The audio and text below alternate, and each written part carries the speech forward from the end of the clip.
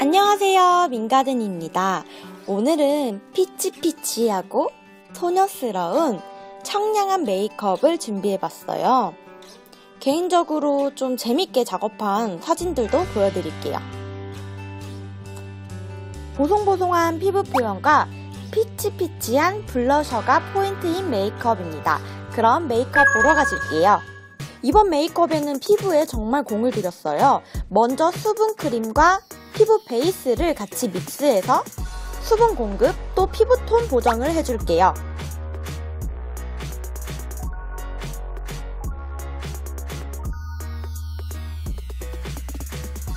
다음은 두 가지 베이스를 같이 써볼 건데요. 먼저 베네피트의 paste 컨실러 balm 타입을 어두운 눈 밑 부분, 팔자, 이마에 발라주시고 제가 좋아하는 스킨푸드 모공밤을 같이 소량 섞어서 발라주세요.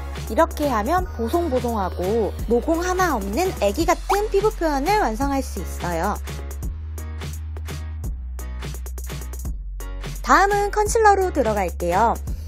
저는 광대 부분에 좀 기미 같은 게 있어서 그걸 가려주고 또 여드름 흉터 하나하나도 다 가려줄 거예요. 어반디케이 픽서를 쿠션 퍼프에 소량 뿌려준 뒤 팡팡팡 두드려주시면 그 위에 파운데이션을 덧발라도 컨실러가 없어지거나 벗겨지지 않더라고요.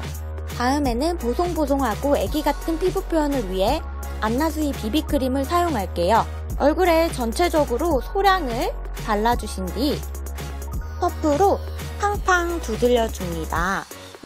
이번에는 정말 애기 같은 피부 표현을 위해 어떤 제품을 고를지 많이 고민하고 또 선택한 제품들이에요.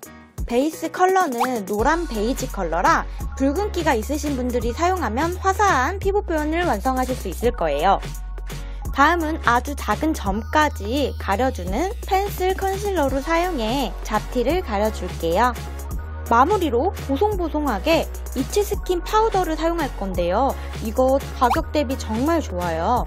저는 파우더를 쓰면 피부 표현이 답답하고 뭉치는 걸 싫어하는데 이걸 쓰면 정말 딱 유분만 잡아주는 느낌이라서 파우더 쓸 때 저는 이걸 잘 사용하고 있어요.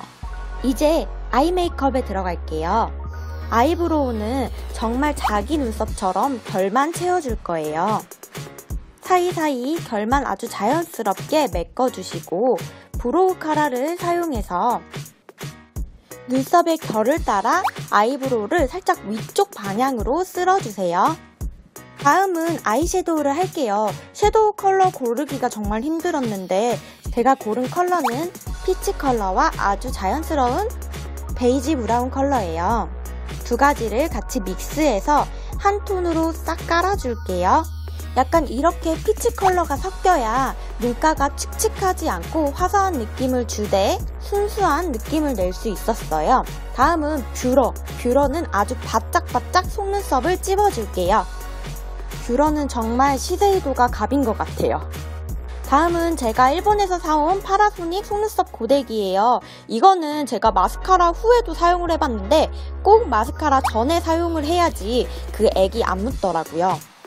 확실히 고데기를 하는 것과 안 하는 것은 속눈썹 그 올라간 볼륨이 차이가 나는 것 같아요. 아주 자연스러운 마스카라를 위해 이니스프리 꼼꼼 마스카라를 오랜만에 꺼내봤어요. 하나하나 살려주듯이 위쪽 방향으로 쓸어주세요. 이번엔 아래 속눈썹까지 꼼꼼하게 칠해주었어요. 혹시나 뭉친 곳이 있을까봐 스크류 브러쉬로 한 번 더 빗어주었습니다.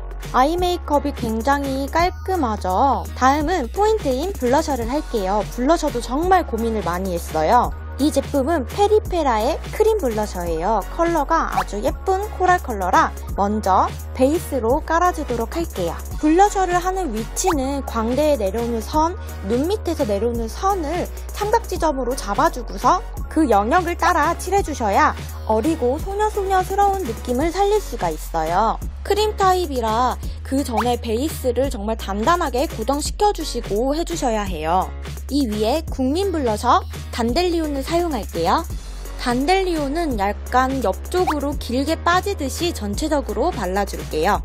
피부톤이 훨씬 더 밝아 보이고 또 peach 느낌이 정말 예쁜 것 같아요.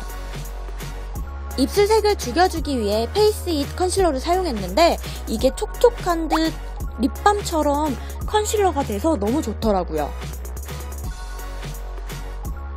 입술도 코랄코랄 peach peach 느낌 나는 립스틱을 선택했어요. 입술 안쪽으로 세로로 쓸어주듯이 먼저 전체적으로 10개 발라줍니다. 제가 나스에서 좋아하는 나탈리 립스틱이에요. 하지원이 발라서 되게 유명했던 립스틱인데 입술 안쪽에 약간 핑크기를 더해주었어요. 어때요? 입술색도 굉장히 차분하면서 생기가 있는 게 너무 예쁘죠? 쉐이딩은 아주 자연스러운 컬러만 사용해서 전체적으로 옆 볼 쪽과 턱 쪽 라인 그리고 콧대만 살짝 살려주도록 할게요. 이렇게 하면 잔머리마저도 사랑스럽게 보여줄 수 있는 피치피치 애기 메이크업이 끝이 났습니다. 다음에도 더 유익한 영상을 가지고 오는 민가든이 되겠습니다. 그럼 다음에 또 봐요. 안녕.